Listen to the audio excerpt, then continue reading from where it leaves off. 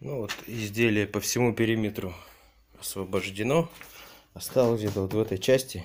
Сейчас будем завершающую часть.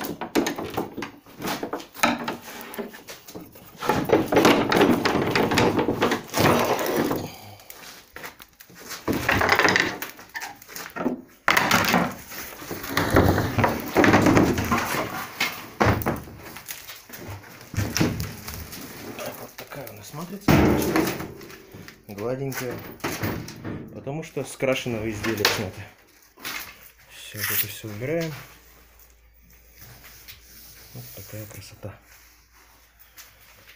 Все, значит, можно полировать и снимать свеженькое идеальное изделие. Вот сам болван. Если сам капот крашен нормально, то в принципе с краской, с лаком ничего не случится.